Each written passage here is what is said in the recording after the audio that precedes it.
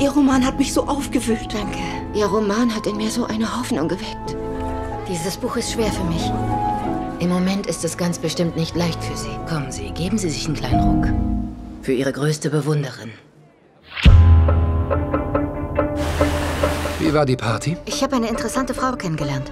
Wir haben den ganzen Abend geredet. Der Erfolg, die Kommentare. Im Rampenlicht zu sein.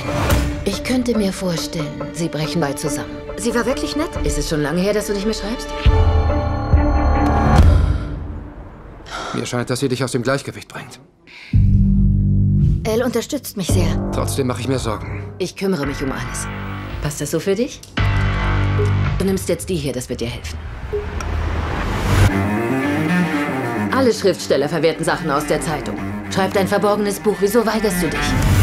Sogar noch persönlicher. Ich frage mich, ob da nicht jemand Besitz von dir ergriffen hat. Ach was. Sie ist eine fabelhafte Zuhörerin. Sehr aufmerksam. Was du wirklich schreiben musst, macht dir Angst. Hör doch auf mit deinem verborgenen Buch. Ich allein weiß, wer du bist. Und was du schreiben kannst. Jetzt pass mal auf. Ich habe noch nie geschrieben, um anderen zu gefallen. Und ich fange jetzt nicht damit an. Du bist verantwortlich für die Liebe, die du wächst, ob du es willst oder nicht. Aber jetzt gehst du zu weit. Du bringst dich in Gefahr. Und genau das ist die Wahrheit, der du dich stellen musst. Stopp! Jetzt ist mir alles klar. Ich muss über Elle schreiben. Dein Buch hat das alles ausgelöst.